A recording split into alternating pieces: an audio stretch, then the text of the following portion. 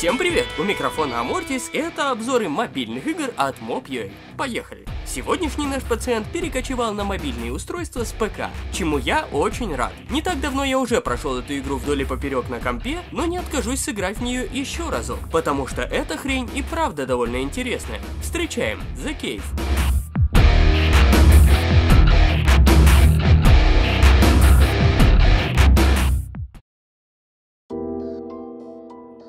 Игру сделали те же люди, которые когда-то удивили наших прапрадедушек замечательным квестом Monkey Island. Графически The Cave выполнен в таком мультяшном стиле. Я в принципе не могу сказать, что мне понравился дизайн персонажей, но вот задники просто замечательные. Что еще замечательно, так это сюжет и характеры. Вообще, главный герой игры это сама пещера, сам если точнее. Это весьма ироничный чувак с хорошим умным юмором, и его реплики всегда интересно слушать. Да и озвучен он замечательно. Вот, послушай. She is here to right a wrong. Moving along? The hillbilly. On this fine night, he searches for his true love, but does desire burn...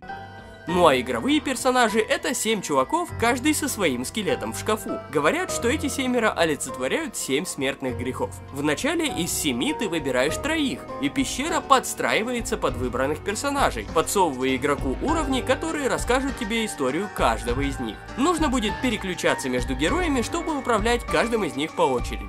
Геймплей представляет собой пазл-квест, где чтобы пройти дальше, нужно решать кучу головоломок. Некоторые решаются просто путем напряжения извилин, а для некоторых потребуется применить какие-то специальные способности, которые есть у каждого персонажа. Ну, например, рыцарь может становиться бессмертным, если стоит неподвижно, другой чувак умеет дышать под водой и так далее. Все это пригодится.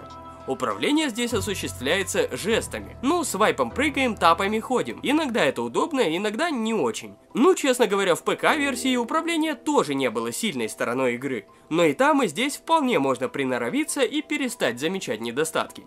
Что можно сказать о пещере? Это хорошая игра. В ней есть сюжет, в ней есть характеры, она заставляет думать и пользоваться окружением. Также радует эта перестройка уровней в зависимости от выбранной тройки. Недостатки, несомненно, есть, но достоинства их перекрывают полностью.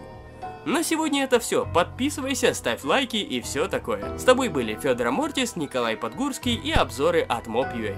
До скорого.